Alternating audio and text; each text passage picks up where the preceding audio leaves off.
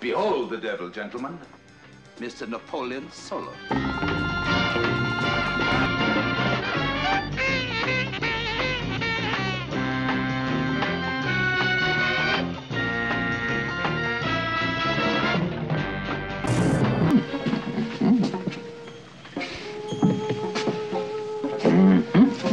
Couscous of lamb. Well, that's marvelous.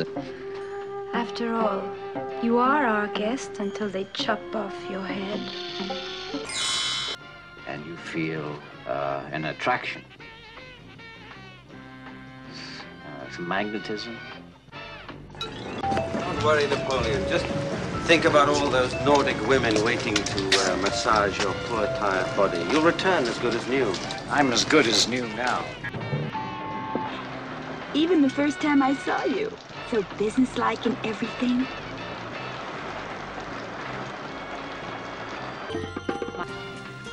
Maybe I just want to be alone with you. A while. Well, I have Sunday afternoon open. Miss Burgoyne. I mean, you're in love with her, aren't you? Oh! Right. well, I certainly see she meets all the requirements. Do you read Russian? How exciting. You know, I can't even put a sentence together properly in English. Really, well, with everything else so nicely put together, it doesn't really matter, does it? How do you keep so fit, Mr. Solo? I play games. Oh, do you really? Oh, gosh, look what those critters done to your nice new suit. Well, that's okay. It's almost a month old. Are you rich? No. Ilya and I work uh, very hard for a living. They're mostly in the dark. What a pity. I'm mad about you. Oh, you poor, foolish child. George!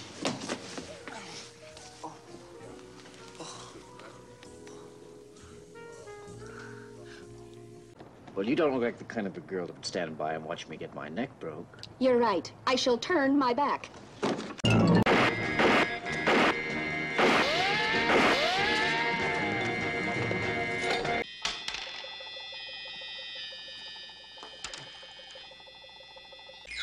That's what I like about you, Miss Hayward.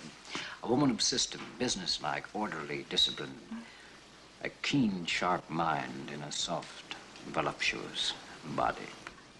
Why, Mr. Solo, I thought bankers only dealt with one kind of figure. How little you know, my dear. Ah. Oh, Mr. Solo. Call me Nappy. Impetuous boy. Now, but I can't contain myself any longer. See, I have a bright blue flame that's burning for you.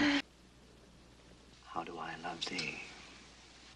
Let me count the way. No computations now. Please, Napoleon. He used the same miserable line on me. Triangulation, Miss Townsend, not alienation of affections. Will you kiss me?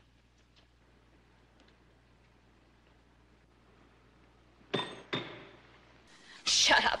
A line, a wrinkle, a crow's foot. Pretty soon he'll trade you in for next year's model. Won't. You'd better take the pill, madame. Or Napoleon will be forced to hold your nose and make you take it. He wouldn't dare. Is that right?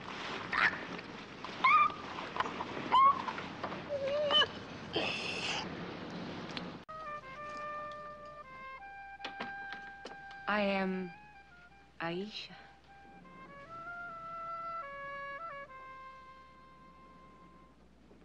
Hello. I am yellow.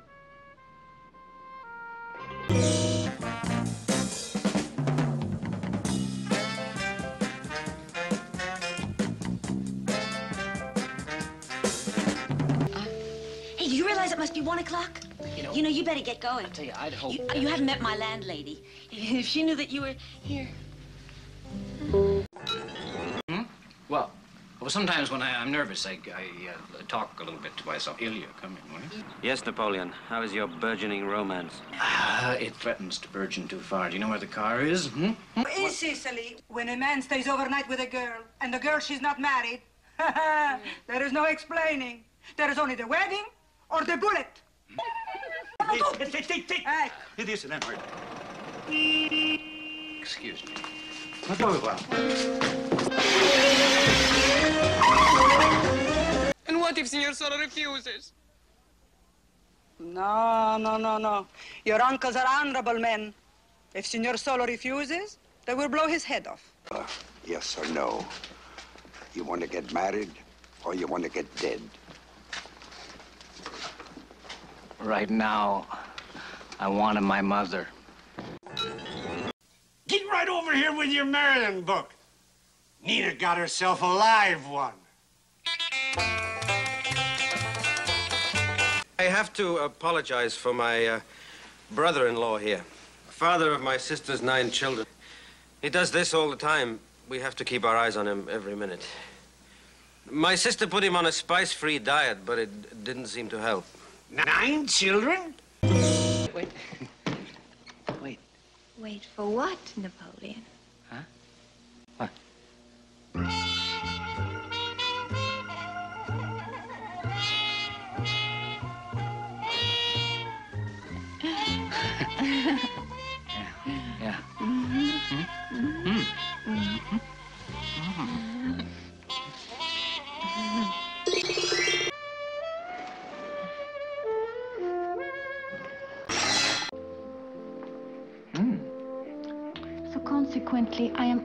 Dentist.